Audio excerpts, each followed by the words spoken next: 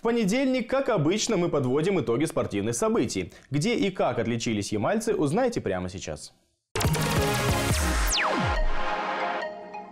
Волейбольный клуб «Факел» после двух поражений на старте нового сезона Суперлиги все-таки сумел порадовать местных болельщиков победой. В захватывающем матче лишь на тайбрейке новоренгойцы переиграли Уфимский Урал со счетом 3-2. Следующую встречу ямальские волейболисты проведут 29 октября в Сургуте против «Газпром Югры». На своей же площадке «Факел» сыграет 6 ноября. В Новый Уренгой приедет нефтяник из Оренбурга.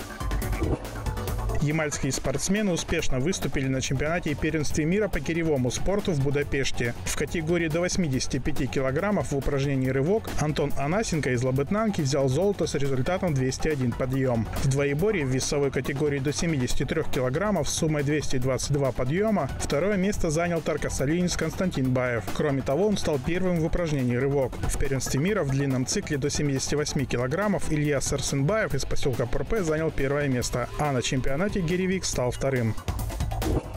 Гроссмейстер Александра Горячкина завершила свое выступление в мужском суперфинале чемпионата России по шахматам, разделив 10-11 место из 12 участников. Представительнице полярной шахматной школы Анатолия Карпова из Салихарда удалось выиграть лишь одну партию у Александра Мотылева и 7 свести в ничью. В пассиве вице-чемпионки мира три поражения. В итоге Александра набрала 4,5 очка. А вот родная сестра Александры, Оксана, успешно выступила на юниорском первенстве Европы. Горячкина-младшая в возрастной категории до 12 15 лет завоевала бронзовую медаль. На этом же турнире еще одна ямальская спортсменка Галина Михеева в категории шахматисток до 14 лет заняла второе место.